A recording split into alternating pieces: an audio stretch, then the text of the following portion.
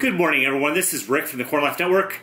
And is it just me, or are Google Analytics mumbo jumbo these days? I can't tell the difference what's going on if I look at my smartphone or if I look at my desktop computer. I can't tell the difference. I don't know what's going on. I mean, I really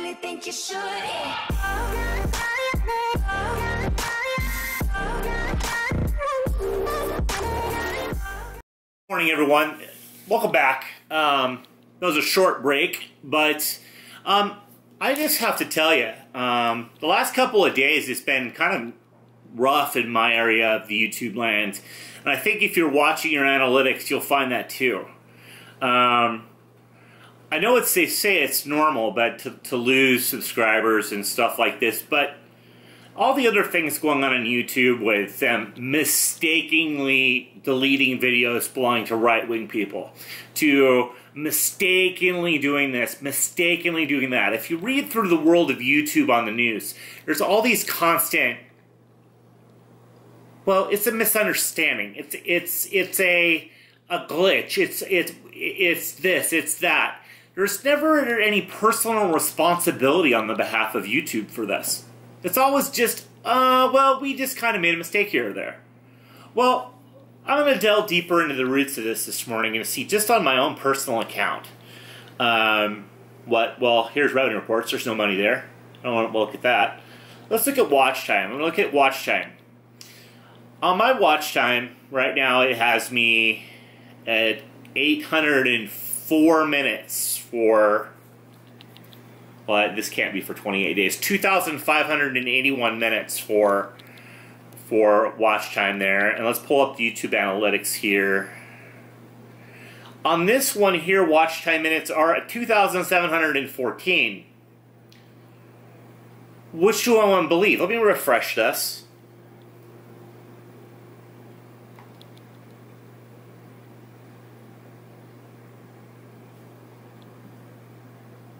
Very interesting. See what this watch. See if this comes up the same.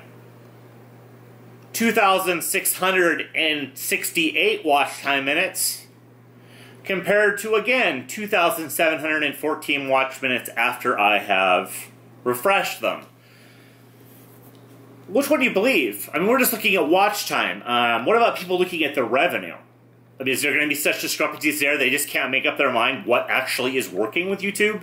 I mean, in a combination with this is a misunderstanding, this is a not a misunderstanding. The only thing they've been able to do is make big decisions that affected all of our lives. Um, I mean, you know, I, I can't say that I think they're responsible. They're not responsible for their actions.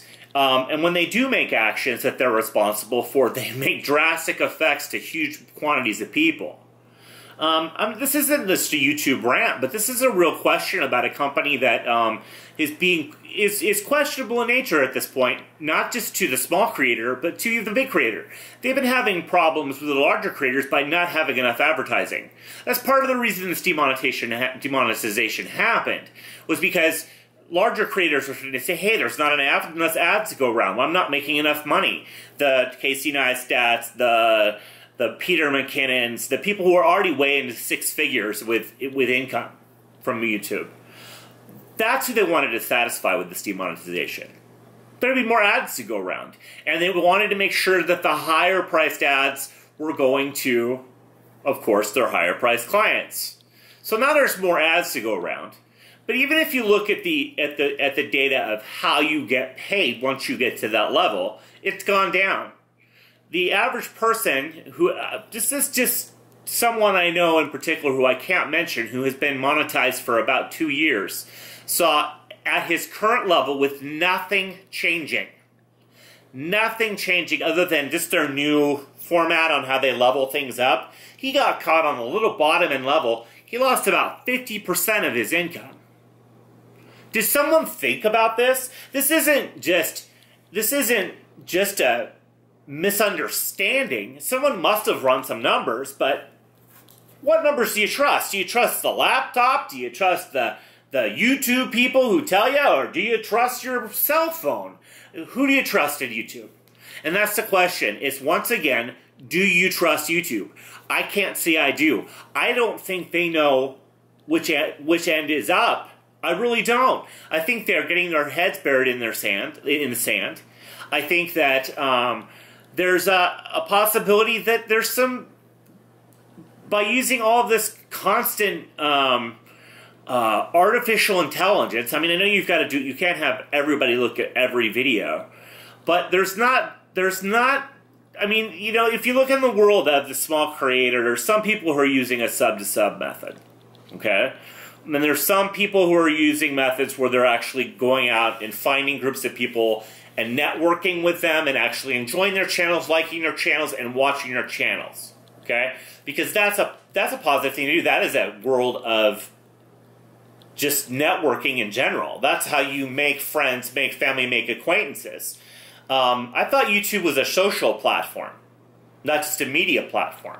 Maybe we've got to look at YouTube if they don't want to be a social media platform. Maybe they just want to be a media platform. Maybe that's the direction you're going. They don't want to be social, so therefore they don't want you to do. I don't understand the sub for sub thing, and that, that would be a problem because you're actually not creating you're, you're creating false numbers with that. But but a company that's so worried about numbers, you think that they would have worried about them. They, they, have got to be worried about their, their numbers somewhere, which is at advertising. Since most of us are no longer receiving advertising dollars as small creators.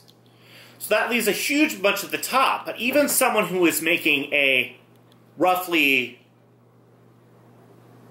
five figure income from YouTube Okay, it was a it was a it was a gradual income. It was it was a it was an income that grew over time. It grew over about three years, and he's got about twenty nine thousand viewers, and he's got a watch pretty good watch time. He people watch his videos. He's got a niche that he follows. He lost fifty percent of his YouTube income.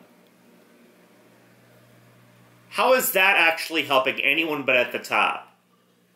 I mean, that this seems to be a commonplace goal in today's society and um, I, I, it just seems like there needs to be equal representation. I'm not talking about socialism in general, but if if I'm a creator and I've reached a certain level, I should be able to be paid the same today as I was paid tomorrow. There's just no consistency. What about consistency, YouTube? Does consistency matter to YouTube? Because between the, the, the changes in subscriber count that I can't quite figure out, between the differences of people saying that they've lost subscribers or they've lost the bells, the notifications, and they go back to their notifications and they go, bink, and they get an error. Why is that? What's the explanation for that? What's the, the, the algorithm behind that? And who is figuring out these algorithms? Is it actually a person punching numbers or is this an artificial intelligence punching numbers? Because there's got to be some human accountability for what they're doing here. And that there doesn't seem to be any of that you know, they've gotten a little bit better with communication. Yeah, as in telling us we're not getting paid. But other than that, communication has been null. Ever since that day, we've got we've gotten glimpses of YouTube out there saying, "Oh, we we support the small creator," blah blah blah, and a whole bunch of mumbo jumbo. But the truth of the matter is, dollar speak. Okay, and, and, and making money on YouTube is not what I'm talking about because I I'm going to make you money on YouTube without generating AdSense. I in fact I'm going to turn off AdSense because I don't ever want to be paid by YouTube. I can't trust YouTube to pay me because you hear about stories that even under the last partner program, how they were um, would automatically. Um, some people just stopped getting paid because and there's no reason. They, they, they were created, they've been creators since 2010, got monetized with 10,000 views, and then stopped getting paid. So, what is the explanation, YouTube? Do we have an explanation? Do I have someone I can call on YouTube? I mean, I'm not, I don't have Casey Neistat's pull. I can't get the uh, director of uh, the partner program on my, on my show. I certainly would like to see him um, meet a small creator instead of go to, to the figurehead of the vlogging community, Casey Neistat. It's just depressing. It's depressing to see such a a valuable platform not being managed very well. I mean, truthfully, do you believe that YouTube is being managed well right now? I mean, I'm not, not to just talk bad about it. If YouTube was doing good, positive things, I'd be screaming from the top of the world. And in fact, I am YouTube's biggest supporter. I am just very, very disappointed. And it's not just about demonetization. It's about the lack of accountability. It's a lack, lack about a, uh, about a communication, accurate statistics. Because then if I pull up, let's see here. I've got statistics from here. Let me pull up the um, watch time minutes on the TubeBuddy.